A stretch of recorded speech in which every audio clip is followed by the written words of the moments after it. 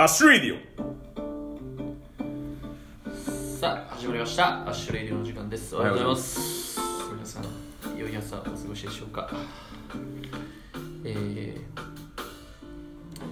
最近はえー、もっぱらえー、セブンイレブンで売ってるもっちりあんドーナツにハマってるよ、え うまいんだこれが。ー、そうなんこのパンコンビニスイーツね結構買うんですもんね翔太さんはい。あえっ、とそれはパンなんですけどもっちりあんドーナツっていうもっちりした生地に。えコンビニでパン買うんですか？これもすよ。何パン？菓子パン？もっちりあんドーナツ。そうなんだ。とか。あたまにっすけどたまにっすけど。やっぱ吉岡さんやっぱ消費者代表ですね。いやマジ消費者代表です。いや消費者代表でいらっしゃいただきます。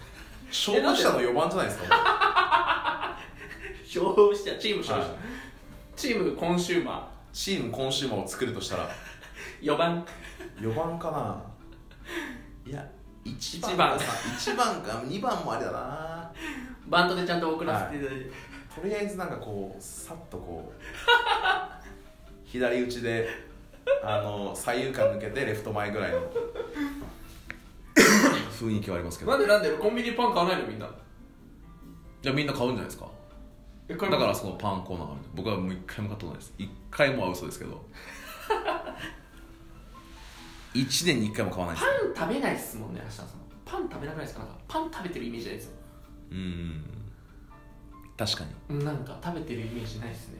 確かにパン食ってるんだったらなんかチーズか米かなんかそういうの。をチーズか米か。食ってるイメージはあるんですよ。かけるチーズ。そうそうそうそう。うまく食ってるイメージあるんですよね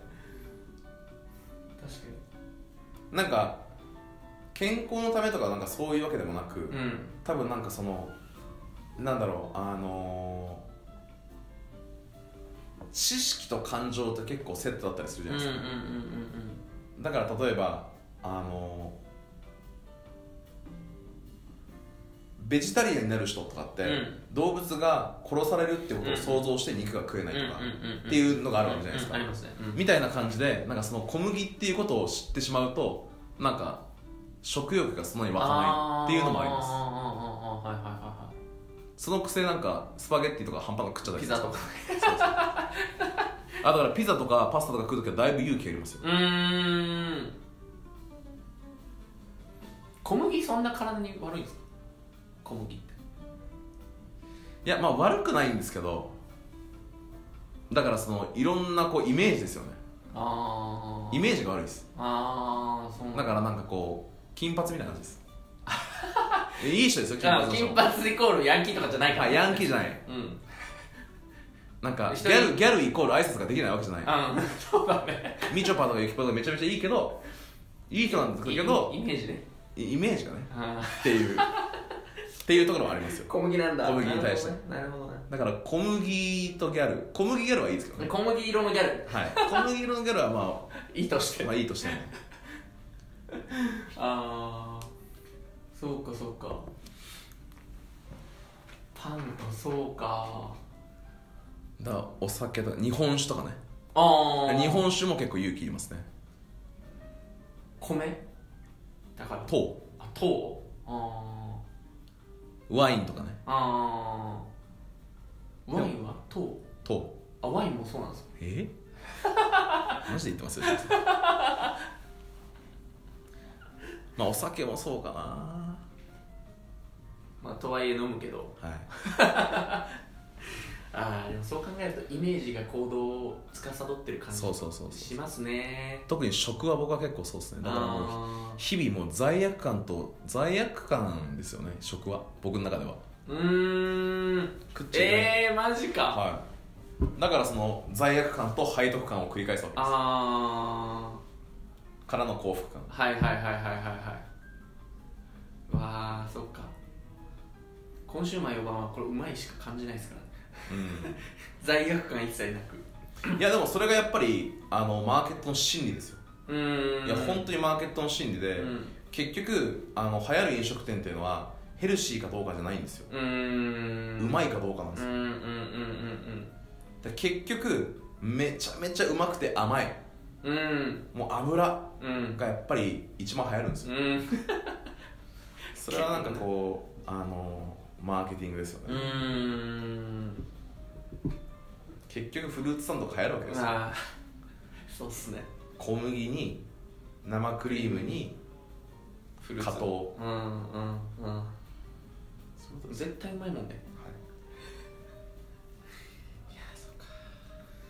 それではもし質問が来てるんだったら質問でもいきましょう。行きましょう、えー、こんにちは。今年度来よりてるんですね。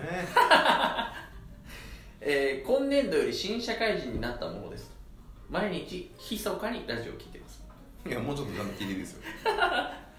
さて私は第 さて私は第一志望に受かり。おめでとうございます。ありがとおめでとうございます。自分がやりたいことができる部署に配属されました。すごい。これはとても幸せなことだと自分でも思っています。I'm happiness. えーただ最近う I'm happy ですけど ただ最近今の環境は自分の実力以上の場所でたまたま入れただけなのかな点々点ネガティブになってしまうことがあります。点々点高校受験失敗が悔しくて大学受験頑張って大学では体育会系首相まで務めたけどやっぱり根本的にはダメなのかなとかいろいろとうまくいきません。とこういった気持ちは誰しもが通る道なのでしょうか。そして新社会人が仕事ができるようになるためにはどうすればいいのでしょうか。よろしくお願いします。なるほど。すごくいい質問ですね。ですね。すごくいい質問ですよ。うん。僕はダメなのかな。うん。もともとダメなんだバカ野郎っていうこんな言葉を送りたいですね。言ってる。なんかその、うん。僕が言うその自信とはっていう。うんうんうん自信とはうん。可能性を信じることであって、うん。能力を信じることではないっていう。うんうんうんだから彼はもう自信がない人の典型的なパターンです、うんうん能力を信じようとしてしまってるんですよ、うんうんうんうん。僕がダメなのかな？いやダメなんですよもともとポンコツです。何もできないです。クズです。全然使えないです。うん。から始まるんですよ。うん。でも彼はそれを認められてないです。ああなるほどなるほどなるほど。なんか体育会でキャプテンやってきたぐらいで、なんか大学いいとこ行ったぐらいで、うん。それ何ができるんだっていう、うんうんうんうん何もできるわけないじゃないですか。うんうんうんうんだから自分が能力がないっていうことなんかもうとっとと認めてうん。うんやればできるんだっていうのが自信です。うん。うんうんうんうんうんあ僕何も分かんないので教えてくださいっていうのが自信のある人です、うん。うん。うん。うん。うん。うん。うん。ああはいはいえー、僕何もうわうわ何もできないのかないや何もできないん。だっていううん。うん。うん。うん。うん。っていうことをああはいはいはい世の中の、うん。うん。特に、えー一流大学出身のうんエリートと言われてる人たちに伝えてあげたいですね、うーん。僕は電通入った時にそういうやつらを見て、うん。一瞬でこいつら全員勝てるなと思いました、うーん。あこいつら自分の今まで大学4年生までにうん。積み上げてきたものだけものでこれから戦っていこうとしてる。ああはいはい。何も積み上げてないくせにうん。東大受かったぐらいでうん。何かの論文書いたぐらいでうん。体育会で一番だったぐらいでうんそれが社会で通用するわけないじゃないですかうん普通に考えて。うんうんうん。だって仕事したことないんだから。うんうんうんうん。そうっすね。でもこいつらはそれが何かをあたかも積み上げてきたような顔してるなっていうのを見てあこいつらにはもう勝負するまでもなく一瞬で勝ったなと思いましうーん。そうかそうかそうただって僕はもう一番最初からうん。日本代表のユースでキャプテンやってました。うん。慶応大学でもキャプテンやってました。アメフト日本一になりました。うんいやでも仕事全く関係ないんです。なんか分かんないです。ちょっと教えてもらってもいいですか？っていうスタンスだったんですずっと。うんうんうんうんうん。それは勝ちますよ。うん。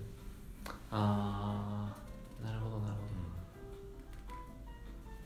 ど。なんだお前慶応のお前キャプテンやってたくせに何もで仕事もできねえの？ああやったことないんだよないっすっていう。そういう感じですよ本当に。はい。えじゃあ教えてもらってもいいですか？っていう。うんそれ以外だってななんかうわ俺なんでできないんだろう。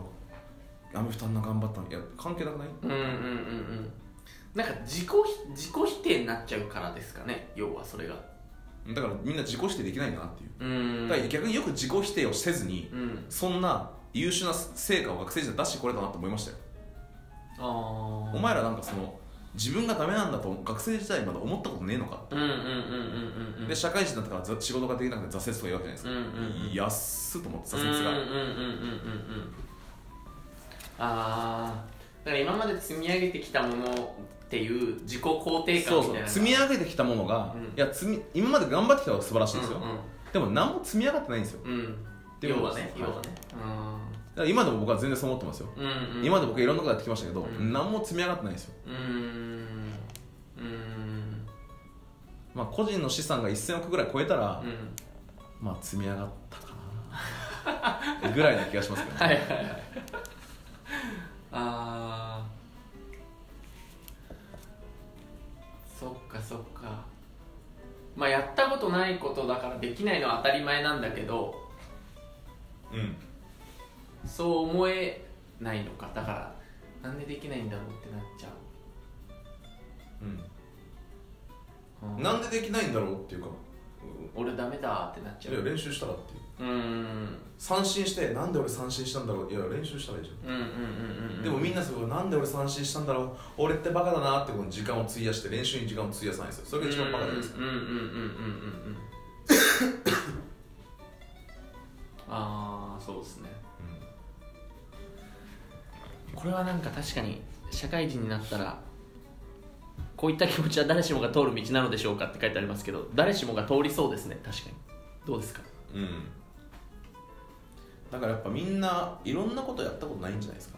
いろんなことやって僕もいろいろんなことやってますけど全部初心者から始まるじゃないですか、うんうんうんうん。今までアメフトとキャプテンと全く関係ないんですよ。うーん。保険のめちゃめちゃ売ったのとハリウッドで俳優の全く関係ないんですよ、うんうん。だからもう全部初めてじゃないですか。うんで俳優やってたのとビジネスやるの全く違うじゃないですうか、ん。だからもう全て本当にもう文字通り初心者として始めるわけですよ、ただその初心者として始めてるっていう心づもりがないとそれはクソクソ傲慢ですよ、うんうんうんうんうん。うん初心者のくせになんかちょっといや俺ちょっといけますよみたいな、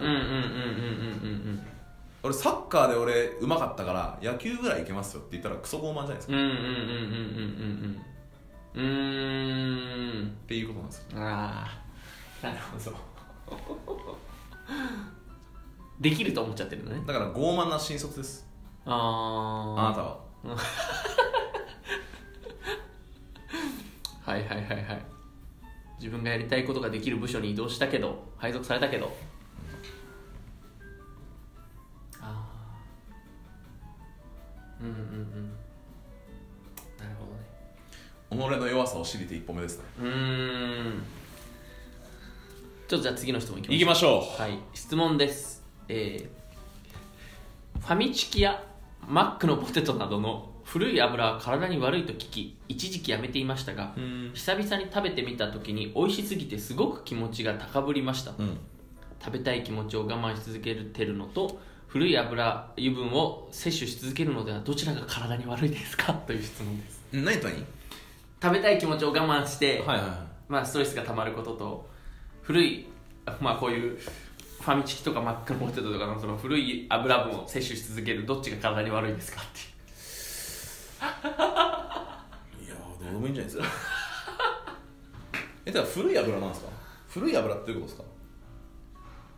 いやだから酸化しちゃうってことじゃないですか。油揚げたのが時間経つとっていう話じゃない。っていうことじゃないですか。古い油ってだから1週間前の油を使って揚げてるとかじゃないと思いますけど。でも要はそういうことが言いたいんですかね。いやさすがに今日本のこの衛生状況でずっと油その油をずっと使うってのはありえないんじゃないですかね、で油って熱したら酸化される。熱したらっていうかもう空気に触れたら酸化しません？酸化。まあそうですね。うん。揚げ物とかって置いとくとどんどん酸化するっていうえそんなことしたら普通の飲食店の方が多分そこら辺環境悪いと思いますよ。ああ油ね。はい。確かに。どの頻度で変えてんだみたいな話。はい。あだってマクドナルドとかはまだなんかその大ーきい会社だから衛生基準があるじゃないですか。はでもそこら辺の飲食店とかの唐揚げとかの方がやばいんじゃないですか。いそれの。確かに。わかんないっすね全然。でも酸化した油を使うぐらいでその体に害なんてそこまでないと思いますよだったら我慢してるストレスの方が体にわ悪そう、だったらコンビニのサラダとかなんかそそういうの食った方が体に悪いんじゃないですか？ああコンビニのサラダ？体に良さそうって言ってみんな食ってるけど。体に悪い。だって野菜って普通自然の野菜って普通はしなしなになりません？ああなりますね。シャキシャキだ。ああなんでかっていう話だ。とか。あだから別に食いたいもの食ったらいいんじゃないですか。うんうんうんうんでそれが嫌なら自炊しろよっていう。うん。うんうんそういうことです。ありがとうございました